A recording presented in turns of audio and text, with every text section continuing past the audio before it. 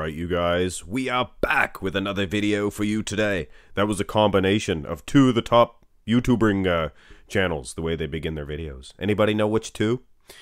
Just Justin Rodriguez. I hate the same old beginnings, guys. Hello, everyone. Mark here, Mark's Max Muscle. Justin Rodriguez and Iain Valliere. These guys placed 8th and 7th, respectively, at the Mr. Olympia event. And a lot of people have been giving Iain Valliere a hard time, including myself, saying that there's politics involved, he's being pushed. He won a couple of pro shows and then got a, a second place finish at the Arnold Classic. But I have to say, guys, this video is not meant to say that Justin Rodriguez was ripped off and Iain Valliere is being pushed. It's to show that Iain Valliere may have and probably did, in fact, deserve a victory over Justin Rodriguez. But we have to go through the poses, guys, and we'll we'll decide on that after we see all the shots. And for goodness sakes, I'm gonna give Iain Valliere a a red card on this or a yellow card, whatever you say, in, in soccer or football, European football. He's he never hits it when he comes out and does his individual mandatory shots. He stays away from the front double. I mean, you can you can get away with not hitting an ab and thigh or maybe a side pose, but it's your front double. Hit it, Iain. And it doesn't suck. These pan back pictures, this is a rusty old screenshot. It takes away from the size. It distorts the size of the guys for sure. I mean, if you're comparing screenshot with screenshot, fine. Justin Rodriguez, I think he'd be winning this one anyway. Even though, come on, Iain, you got that small waist, your arms are getting bigger. Start hitting this shot. You look good, man. Go through the real, you know, pitcher comparisons. Front lat spread.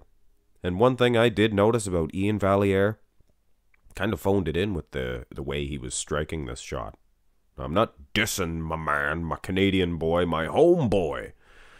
But he uh, he has hit this much better. Look at the Tampa Pro for goodness sakes. This year, not last year. Look at, you know, Texas Pro. Front lat spread was awesome. And I gotta say, using these two versions, I don't know, guys. Keep in mind, Justin still has the much wider waistline, and that could, uh, you know, that could really hurt him in a front lat spread. Condition, they're both pretty similar, to tell you the truth. Turn to the side, and this is the finals for both guys. And like I keep saying, I wish I had both versions of each. And for anybody saying that Iain Valliere is getting pushed, he's, uh, you know, he's not as good as they say or the judges, look at the thin skin conditioning from the side. You see that? This is a dangerous shot for Iain Valliere. This is his one of his best, I would say. Justin Rodriguez, no slouch at all in the thickness department, hanging hamstring, things of that nature. A little bit hazy, a little bit cloudy is the picture of Iain Valliere. They must have pumped some clouds. That was a great idea, by the way. To, you know, laser light and, and just pump some clouds. It makes it harder for them to see, you know. It's kind of neat. It's neat. It was a good idea.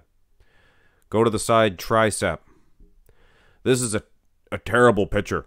And there's no no sarcasm in this. This is a terrible picture for, for Justin Rodriguez. A rusty old screenshot.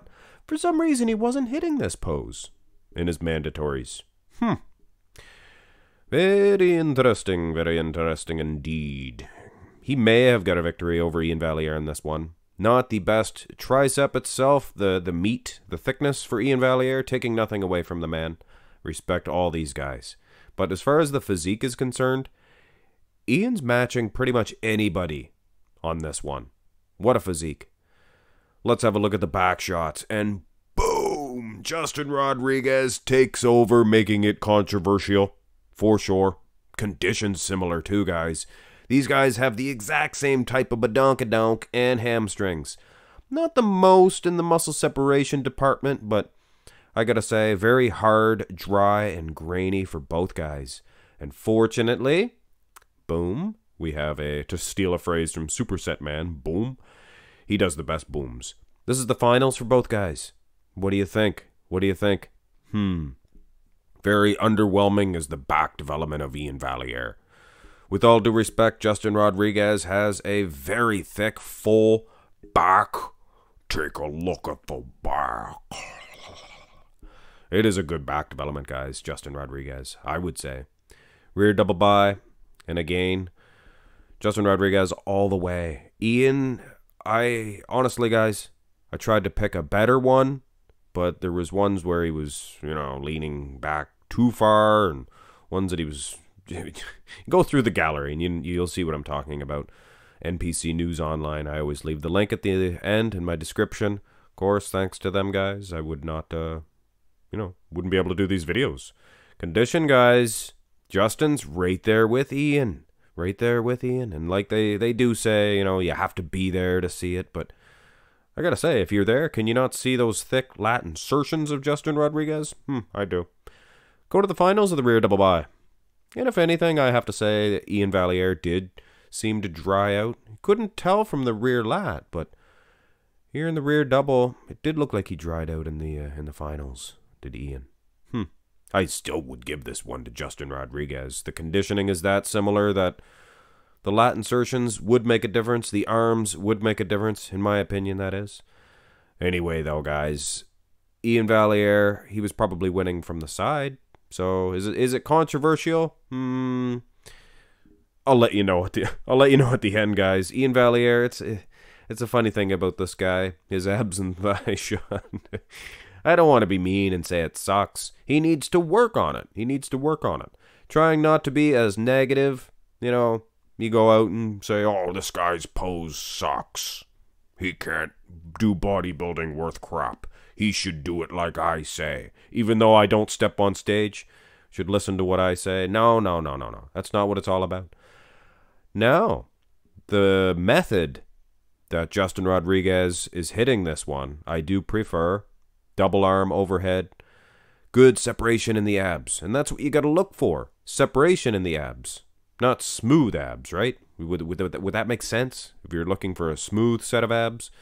Iain Valliere lacks a little bit of muscle separ- separation in this one. He has the frame. Definitely has the frame. I don't know. Talk to Nick Walker. He has a lot of ab separation. So does Justin, for that matter.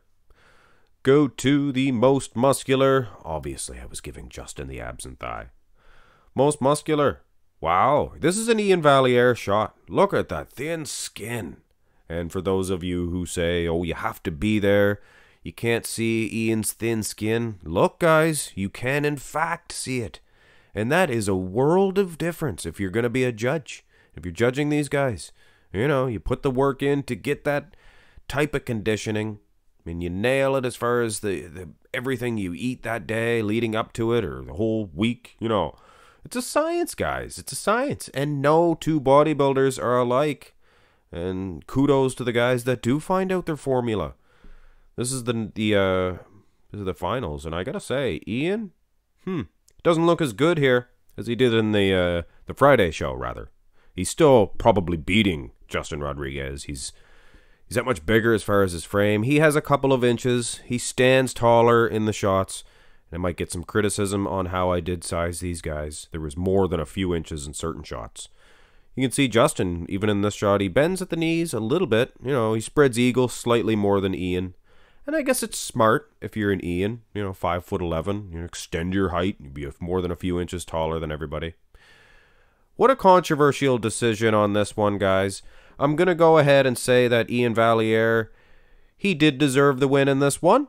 And you could see in certain shots that the skin was thinner. His condition was a little bit tighter, better. Now, who was winning the majority of the poses? Hmm. Iain may have made up for the loss of the back shots with the side shots. And that front lat spread, he probably would have gotten that one too.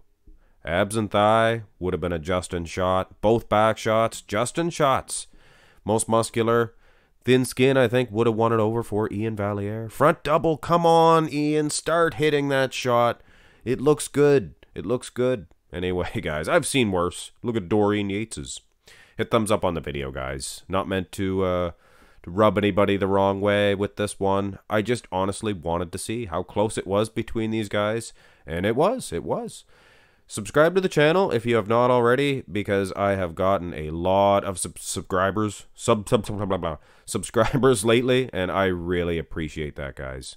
Trying to speak from the heart, I get a little bit, uh, you know, teary eyed, things of that nature. Wait till you see my unveiling of my uh, my silver silver play button if I do make it to the hundred thousand subscribers. And yes, I say if. Hey, I could die before then. You never know, guys. Meteors flying every which way, every which way. Have a great day.